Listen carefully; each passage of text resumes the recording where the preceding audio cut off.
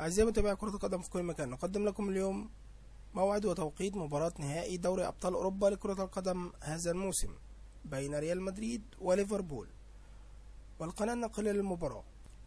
ونجح النجم المصري محمد صلاح لاعب ليفربول الإنجليزي في صناعة التاريخ بقيادة فريقه للمباراة النهائية في مسابقة دوري أبطال أوروبا لكرة القدم هذا الموسم الحالي 2017-2018 ويقود محمد صلاح ليفربول في النهائي الناري أمام ريال مدريد الأسباني حامل اللقب آخر موسمين والمقرر إقامتها يوم 26 مايو الجاري في العاصمة الأوكرانية كييف.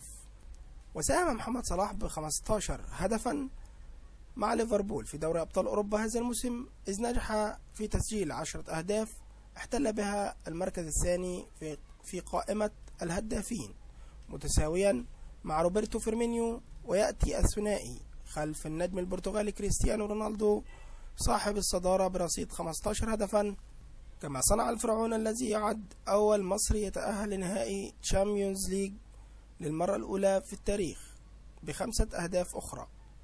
وسيكون البرتغالي كريستيانو رونالدو لاعب ريال مدريد جاهزا لمواجهة ليفربول في نهائي دوري أبطال أوروبا.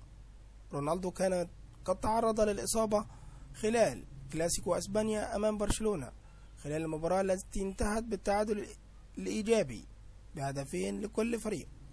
وتقام المباراة على ملعب استاد الأولمبي بكييف بأوكرانيا. ويدير المباراة تحكيميا الحكم الصربي ميلوراد مازيك الذي يبلغ من العمر 45 عاما. وتقام مباراة نهائي دوري أبطال أوروبا لكرة القدم بين ريال مدريد وليفربول يوم السبت 26 مايو 2018 في تمام الساعة التاسعة إلا ربع مساء بتوقيت مصر وليبيا والسودان.